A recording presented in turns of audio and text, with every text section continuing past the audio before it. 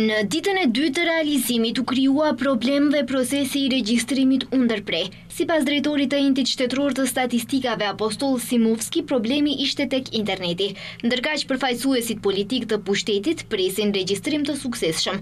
Kryeministri Zoran Zaev u shpreh se është ndier krenar që pas njëzet viteve po bëhet regjistrim i popullsisë. Me të vërtetë, dita e parë është tejet inkurajuese për regjistrimin e suksesshëm.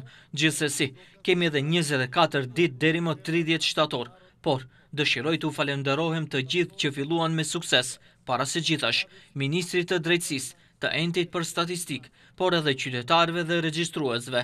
Besoj se të dhënat do të jenë indikator serioz për politika edhe më të suksesshme të përgjithshme të zhvillimit të vendit tonë.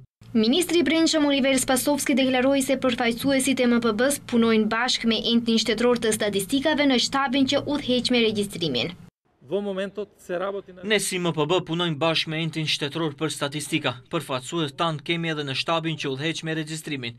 Të gjithë qytetarët që do të refuzojnë të regjistrohen, sigurisht, që do të merren masa dhe do të ketë padi, Megjithatë, unë pres njëjtë sikurse që kaloi dita e djeshme, në një atmosferë të shkëlqyeshme, që të vazhdojmë edhe më tej dhe regjistrimi të kryhet me sukses, që edhe pas njëzet viteve të mund të kemi të dhëna të detajuara, të cilat janë të nevojshme për zhvillimin e shtetit.